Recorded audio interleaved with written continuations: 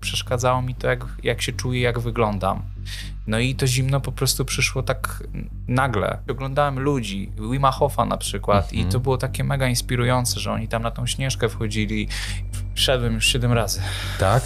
Trzeba to robić z taką pełną świadomością i odpowiedzialnością i przygotowaniem. Samotność przy takim wejściu może wiązać się z tym, że będziemy błędnie interpretowali rzeczywistość i na przykład wejdziemy w stan hipotermii i nie będziemy go świadomi do końca. Będziemy uważali, że nam jest ciepło, no bo tym się objawia stan hipotermii, że w pewnym momencie przestajemy czuć zimno. Znajdują się oczywiście w ramach e, tego przeżywania zimna w sposób ekstremalny osoby, które rzucają sobie wyzwania ponad ich możliwości. Takie BHP wejścia jest bardzo istotne. Best Kashoots. Kurde, to brzmi jak coś, co bym chciał zrobić. Totalnie. Robimy.